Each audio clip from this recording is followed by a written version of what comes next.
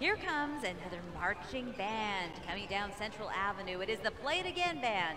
The Play It Again Band is Arizona's first old-timers marching band, bringing together a community of former high school and college marching band members from around the state and around the country. And in their everyday lives, they are engineers, dentists, teachers, retirees, and much more. Many of the members are also music educators and performers. So the band has been entertaining in the Desert Financial Fiesta Bowl Parade and other parades since 1987. So, do you think they'll give us an encore? I hope so. Let's hear it. They are Play It Again band, so let's listen in.